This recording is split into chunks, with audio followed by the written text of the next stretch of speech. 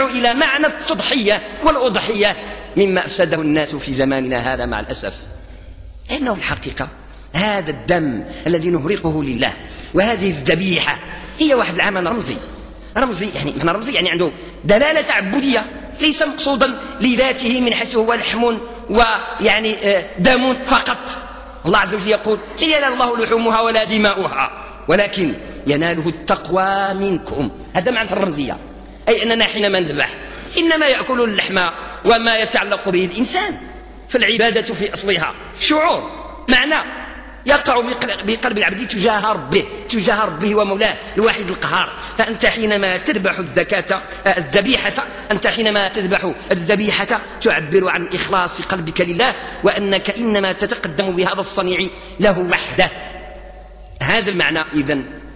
الذي نتهيأ له بنسيان أبداننا. باش توصل لهذا المقام الإيماني خصك تنسى راسك. ولذلك لا تقطع أظافرك لا تقص أظافرك ولا تأخذ من شعرك ولكن العكس هو الحاصل. الدليل على ذلك أن الأضحية صارت مقصودة لذاتها بل صارت وثنا والله انعكس الأمر انعكس الأمر على التمام والكمال. عيد الأضحى هو عيد التوحيد.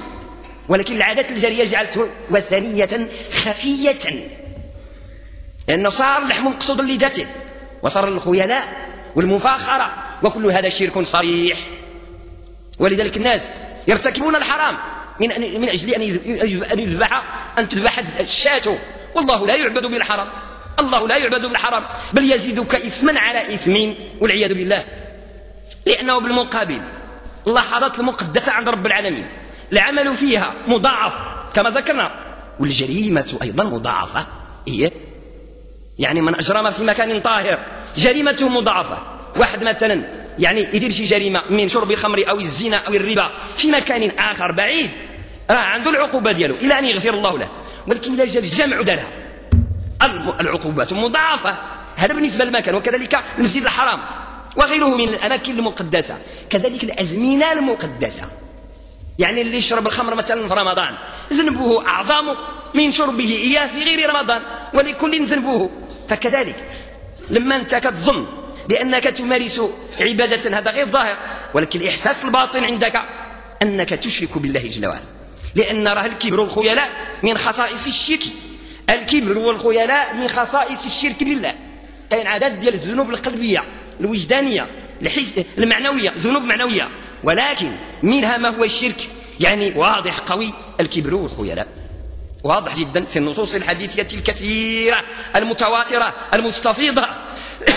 ويكفيك من ذلك قوله عليه الصلاة والسلام لا يدخل الجنة من كان في قلبه مثقال ذرة من كبر.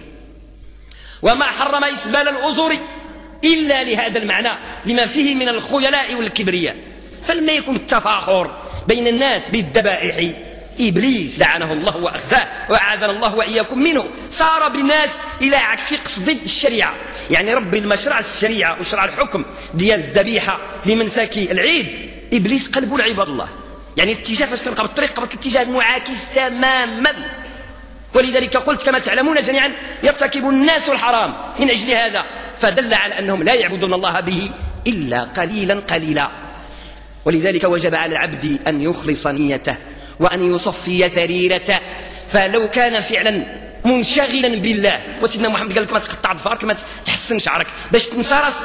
وبنادم ماشي ناسي راسه يعني عقله في الحولي فاذا هذا اللي عقله دخل في كبشين فهذا يعني ماشي نسى راسه هذا يعني عبد نفسه وعبد اهواءه فخصك يعني إذا نسيت راسك من باب أولى وأحرى أن تنسى الكبشه وما يتعلق به وما يتعلق بالعادات الاجتماعية الفاسدة.